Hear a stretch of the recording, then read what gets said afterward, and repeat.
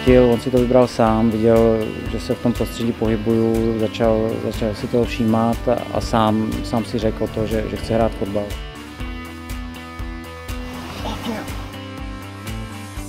Táta.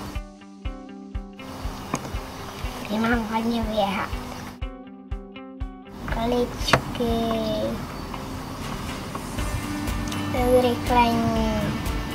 Pokaždý, když vlastně jedeme nějak z zápasu nebo z tréninku z fotbalu, tak eh, občas ho tak malinko zkouším, jestli nechce dělat nějaký jiný sport, eh, jestli by něco víc nebavilo a vůbec neexistuje. Jediný fotbal má v očích a na mysli a já jsem rád, že ho to baví a že, že chodí prostě s úsměvem na tváři po těžkém tréninku a, a těší se na každý trénink a myslím si, že pro každého rodiče by to byla asi obrovská odměna, když, když vidí svoje děti že jsou šťastní v tom, co dělají a dělají nějaký sport.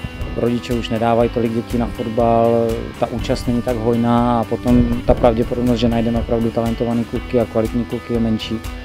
Takže já bych byl nesmírně rád, kdyby se nám podařilo navázat na to, co z dřívějšku bylo hodně silné, ta mládežnická základna a tenhle projekt je, je důkazem toho, že, s tím chceme něco dělat a, a doufám, že, že to pomůže.